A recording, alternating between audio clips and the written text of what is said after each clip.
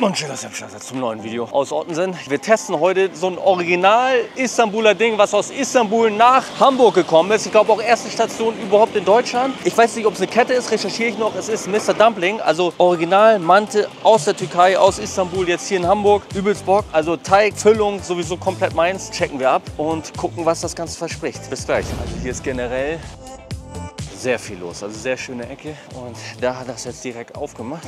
So, schauen wir mal.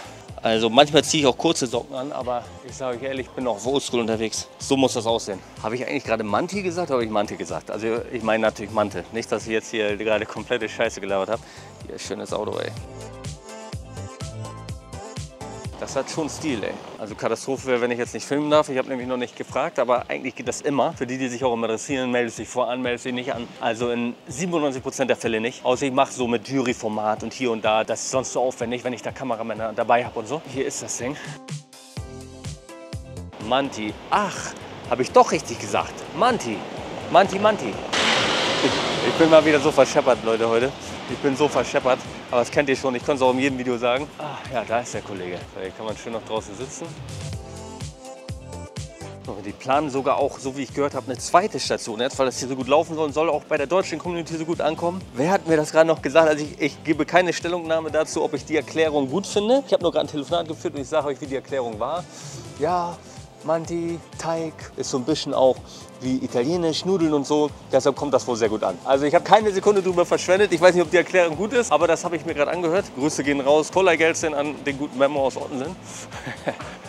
Jetzt musst du dich rechtfertigen für diese Aussage, die ich wahrscheinlich völlig falsch wiedergegeben habe. Aber egal, das wird Memo verkraften. Ja, ich habe Bock, ey. Ich bin eigentlich in Plauderlaune. Ich hätte jetzt Bock, euch irgendeine Geschichte zu erzählen. Aber ich glaube, wir sollten das machen, was der Titel hergibt. Wir testen jetzt Mantel.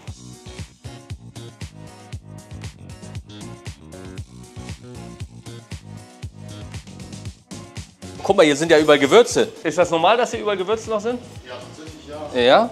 Na, natürlich ist das normal, sonst würde ich da, da ja nicht stehen. Was für eine dumme Frage war das schon wieder. Ja, genau. Also wir haben hier einmal getrocknete Minze, Ja. wir einmal Soja. Ach, das getrocknete Minze? Genau, richtig. Soja? Das ist Soja? Genau, richtig. Das Und schmeckt, ja? Einmal getrocknete Paprika. Okay, krass. Also ich nehme dich mal hier als Ansprechpartner. Ne? Ich will heute jetzt Manti testen, wenn ich jemand wäre, der noch nie Manti gegessen hat. Ja. Wie würdest du jetzt sagen, was mich heute erwartet? Also das hat tatsächlich, wo ich das erste Mal Mante gegessen Ja. habe, zwei Tage später war ich hier am Arbeiten. Ich dachte, das ist jetzt Durchfall. ich schwöre, ich irgendwie hatte Also, dran gedacht. äh, ja, du wirst auf jeden Fall positiv überrascht sein. Also wir haben Mante in verschiedenen Formen und Varianten. Ja. Guck dich einfach durch die Karte und lass dich überraschen. Ne? Oh, geil. Ka kannst du nicht nochmal den mit Durchfall sagen? Das wäre so geil, wenn ich den einblenden könnte. Ja, auf jeden Fall. Also du wirst auf jeden Fall durchfallen. Was mache ich mit der Kamera heute, ey? Warum sieht das so geil aus? Also ich kann mal vielleicht Folgendes bringen, Leute. Das entscheidet jetzt aber voll, ob es das letzte Mal sein wird oder nicht. Ich nehme das hier eigentlich als Zweitkanal-Video heute auf. Ich schaue ja natürlich auch immer, was kommt am besten an und ich bringe die Knaller mal auf den ersten Kanal. Logischerweise gibt es immer welche, die sagen, so nicht so viel Abwechslung hier und da. Liegt daran, dass ich das bringe, was am besten ankommt. Ich kann sowas öfter auf dem Erstkanal auch bringen. Das ist einfach Abwechslung, feiere ich persönlich auch mehr. Der muss das aber scheppern, weil ich bringe das, was am besten scheppert. Also wenn ihr sowas auch öfter sehen wollt, müsst ihr den Daumen übertrieben knallen lassen. Dann geht es hier immer weiter, auch mit so einem Sonderformat, die es sonst auf dem Zweitkanal übrigens immer gibt, Polle TV. Na, dann gibt es sowas aber auch mehr auf dem Erstkanal. Also Daumen oben scheppern lassen, ich richte mich nach euch, kommentieren und dann weiß ich, dass das schmeckt. Dann bringe ich das auch mal mehr. So ein Ding ist das. Ich weiß nicht, ob ich heute irgendwas genommen habe oder so, aber irgendwie fasziniert mich alles. Das ist Präsentation. Es sind einfach nur Getränke, aber präsentiert hat man Bock drauf. Gefällt mir, schmeckt mir. Das schmeckt mega. Ich guck mal einfach in die Karte mal rein hier. Ich will mal reingucken hier. Oh, die sind hier da durchgegangen ist. Ey. Mr. Dumpling, geil. Da hinten köchelt das. In der Küche kann man reingucken. Immer schöne Sache. Also so Hygiene und so weiter ist ja natürlich so ein Thema in der Gastronomie. Und wenn man da reingucken kann, kann man sich immer ein schönes Bild machen. Und dann ist die Wahrscheinlichkeit, würde ich jetzt mal behaupten, einfach geringer, dass man da irgendeinen Mist kriegt. Karte. Ich bin heute Gast bei Manti, Manti. Salat wollen wir jetzt nicht, Leute. Boah, Teigfladen, Filter Teigfladen, Gouda Teigfladen. Nee, wir gehen, bleiben auf den klassischen Dingern hier. Ja, gefüllte Weinblätter. Wenn die selbst gemacht sind, ich liebe die Dinger, dann müsste man die Beine auch das Edamame. Also das, das finde ich ein bisschen merkwürdig. Auberginen, Cremesuppe. Oh. Also ich bestelle die mal nebenbei einfach so. Nur ein, zwei Worte dazu verlieren. Guck mal, die sieht nämlich gut aus. Frittierte Garnelenpiroghi. So frittierte Manti. Das ist was, was ich auch noch nicht gegessen habe. Werden wir testen. Wusste ich schon vor, dass es hier gibt. Dumpling, Hackfleischzwiebeln. Ach, das ist auch frittiert? Sind die so beliebt, das hier? Die kann, können sie auch nicht machen. Ach, gekocht oder frittiert? Hä? Ich muss gleich nochmal fragen, das wundert mich jetzt gerade.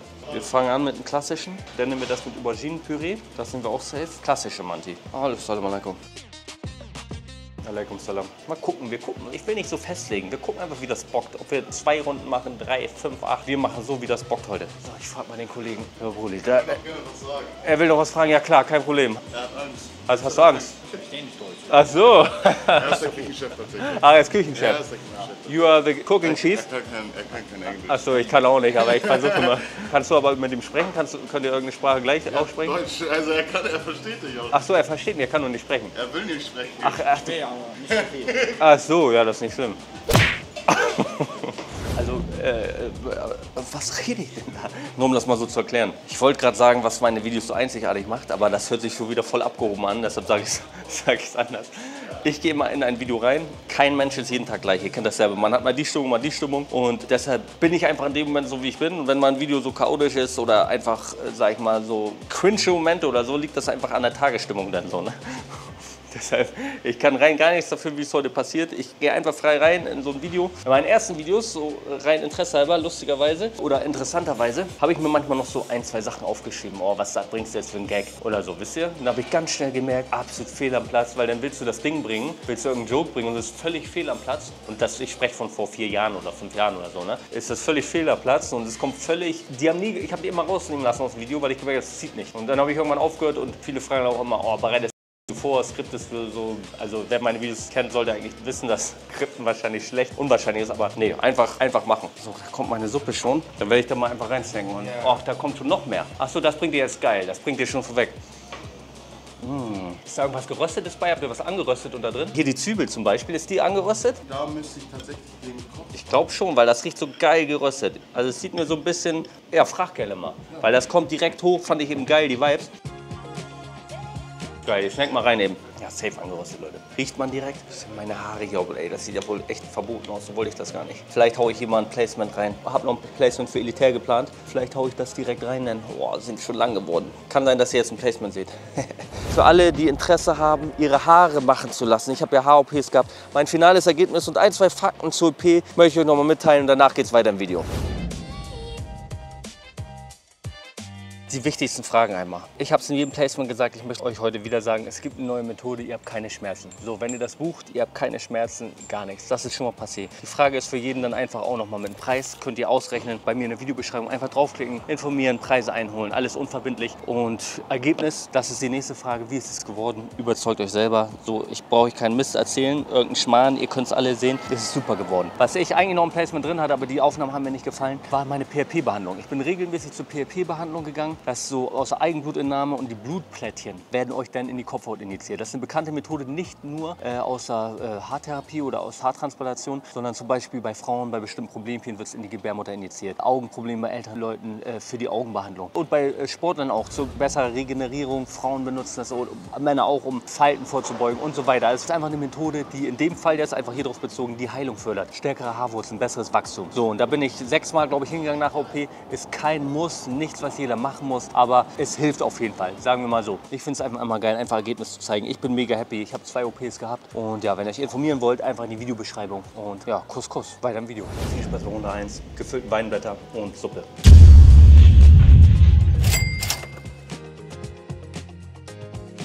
Scheint man wohl mit Zitrone zu essen hier. Esse ich privat auch sehr gerne. Und die Suppe.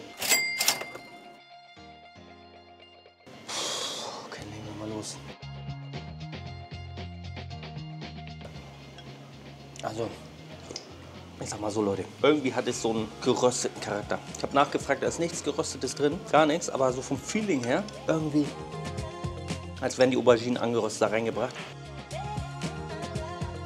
Schön cremig. Oh, schon da. Danke, mein Lieber. Vielen, vielen Dank. Kannst einfach hinstellen.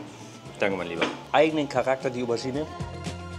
Kein Plan, wie ich das beschreiben soll. Einfach gemüsigen, nachklingenden, nachhaltenden Charakter, aber nur zwischendrin. Punktuell einmal gehabt, dieses Feeling, war aber geil. Und danach wird es halt sehr suppig, sozusagen.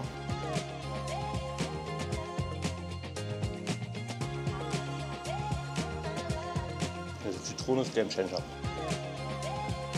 Fein gewürzt. Und da gestehe ich ein, ich kaufe die fertigen immer. Gute Qualität, zwar für fertige, aber aus einer kleinen Box, klackst du oft. Die sind meistens mit so einem gesäuert, ich glaube für die Haltbarkeit. Ist nichts Dramatisches drin, aber das haben die oft so einen säuerlichen Charakter. Das ist hier halt gar nicht. Diese Säure, die da ausgetauscht wird, hast du hier durch diese frische Zitrone. Das ist mega ultra frisch. Reis noch fest im Biss. Hast zwischendrin noch so, also nicht zu fest, perfekt im Biss. Al dente hätte ich beinahe gesagt.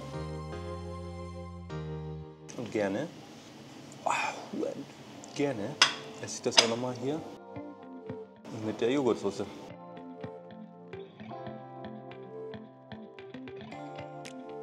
Da haben wir die klassischen Manti. Das ist, soweit ich weiß, korrigiert mich gerne. Butter und ja, wahrscheinlich so ein bisschen Pultbiber oder manchmal Tomatenmark. Da ist mein Wissen, was Manti angeht, auch noch beschränkt, weil ich noch nicht so oft Manti gegessen habe, dass ich irgendwie die verschiedenen Zubereitungsmethoden weiß.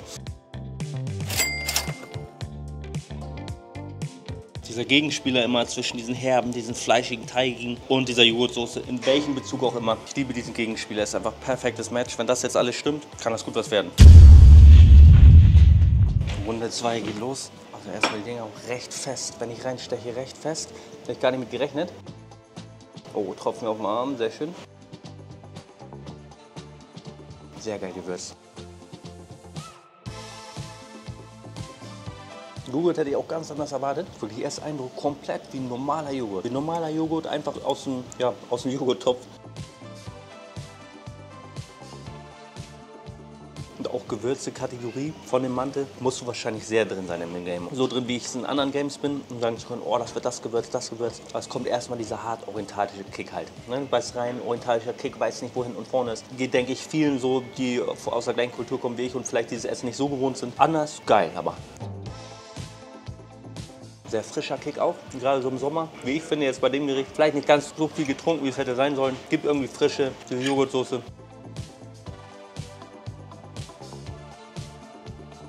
Wenn ihr das isst hier, müsst ihr den hier einfach auch mal machen. Also zack, zack. Und dann, dann habt ihr diese Power von dem, das wird Pulled Biber, denke ich, sein, von diesen Chili-Flocken. Ich versuche folgendes mal. Nicht, dass ich jetzt hier irgendwas falsch mache, Leute, dass das eigentlich hier ein Tee gehört oder so. Ich mache hier mal einmal den hier.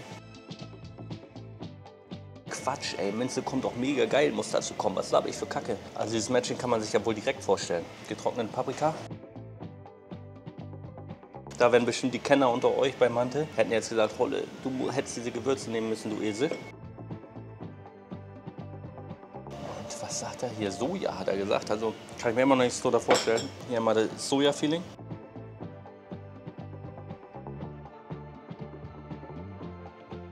merkst dieses Gewürz im Biss auf jeden Fall. So ein bisschen verhärtet, hört sich so negativ an, aber bessere Beschreibung fällt mir nicht ein, als hätte man, so, manchmal hat man ja ein bisschen ein Stück Verpackung in der, in der Dings im Essen.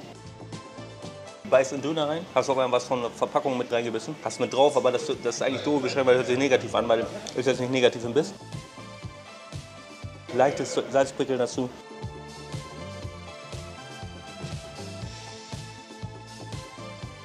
Das ist viel zu viel. Ich dummer Idiot, ey. Ich muss nur drei Sachen essen.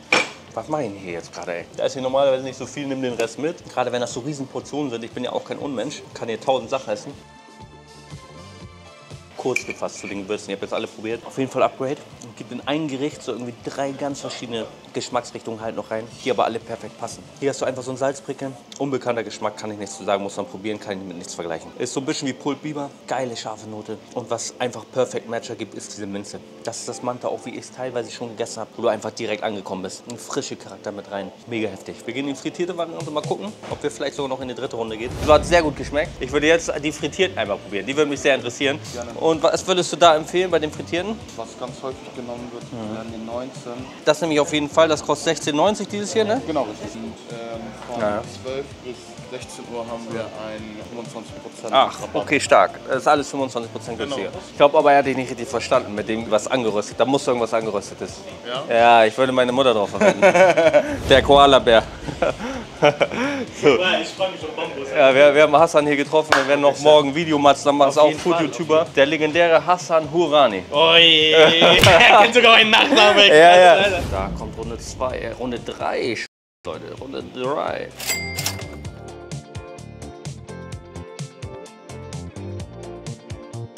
Dieser frittierte Charakter, der in der Luft liegt, ist überwältigend geil.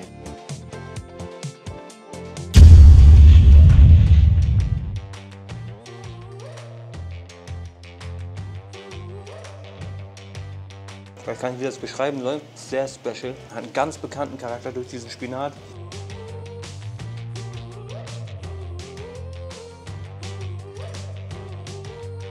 Dabei aber so special ist, du hast den Spinat im Hintergrund, so wie man ihn kennt, irgendwie vom Teller. Nicht so in einer weichen Blub-Variante mit irgendwie noch Sahne drin oder so, sondern wirklich ganz normaler Spinat. Auch vom, vom Biss noch relativ fest, aber dass es den Hintergrund einnimmt. Und was irgendwie so die Speerspitze bildet, sind dann die Gewürze. Du hast irgendwie ganz bissiges, leicht scharfes Gewürz drin. Weiß nicht, ob es auch einfach wieder Chili ist. Auf jeden Fall ist es so irgendwie Spinat, aber in pikanter Variante, wo Spinat so ein bisschen einfach das Backup bildet. Leicht süßlichen Touch für die Zwiebelvariante. Ich muss einfach erstmal jetzt nochmal den hier machen. Joghurt nimmt komplett ein. Herzhafte Komponente kommt mit dem Teig jetzt rum. Hier in dem Fall der Teig sehr, sehr geil. Und irgendwie so ein bisschen das Feeling vom Brötchen direkt aus dem Ofen. Auch teilweise diese Aufbackbrötchen von zu Hause. So irgendwie Zwiebel von innen. Zwiebeln von innen sind eine Creme. Nicht stückig, eine Creme, die du gefühlt hier rausdrücken kannst aus den Dingern. Nicht gefühlt, du kannst die rausdrücken.